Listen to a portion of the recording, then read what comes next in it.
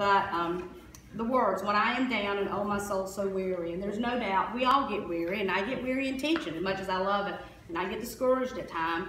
When troubles come and my heart burden me, then I am still and wait here in the silence until you come and sit a while with me.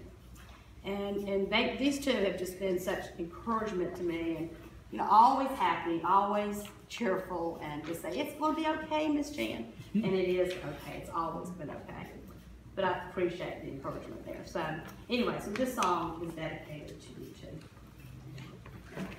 They outplay me. I'm just playing for the song and the words. I was listening to them going, oh my goodness, I've gotta follow. And that's why I put y'all at the beginning. I don't want y'all at the end.